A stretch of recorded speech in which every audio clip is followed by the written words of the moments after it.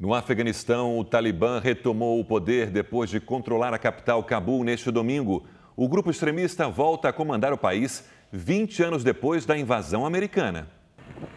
Uma ofensiva rápida e que encontrou pouca resistência.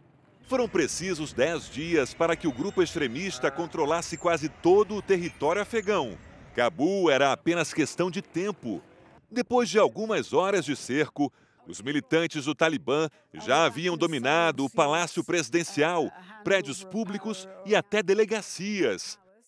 A fuga do presidente Ashraf Ghani para o exterior foi o sinal verde para que o país voltasse às mãos dos extremistas islâmicos.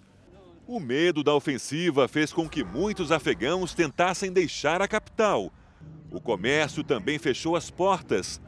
Funcionários da embaixada americana tiveram que ser retirados às pressas de helicóptero.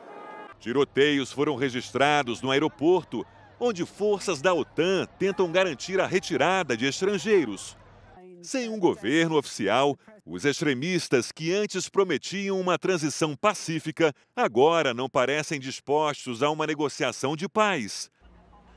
A população teme também as leis islâmicas radicais que restringem, sobretudo, os direitos das mulheres, obrigadas a usar burca e proibidas de estudar e trabalhar. O governo Biden admite erro de cálculo. Autoridades acreditavam que levaria meses desde a saída das tropas americanas para que a capital fosse dominada pelo Talibã. Mas ao longo de quase duas semanas, as principais cidades do país foram controladas uma a uma. E hoje foi a vez de Cabul.